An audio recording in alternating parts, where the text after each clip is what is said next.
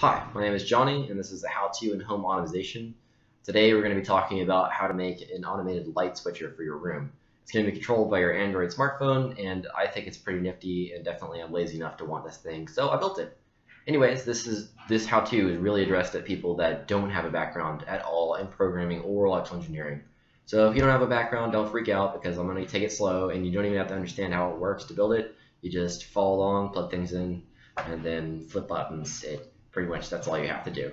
I will, however, explain as I go along what it's doing. So if you care about that kind of stuff, you'll have some extra fun.